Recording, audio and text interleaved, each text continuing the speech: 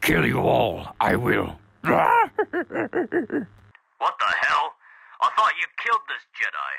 Oh, yeah, um, about that. You see, it was kind of funny to see him crawl away after we shot him so many times. So, um, yeah, he, uh, kinda escaped. What? Wow. Oh my, why do I even bother? Look, just follow orders and kill the Jedi, okay? That's all I ask. Alright, alright. We'll, we'll follow your orders, sir. Sorry. Hmm. Whoop, here we go again. Two seconds later.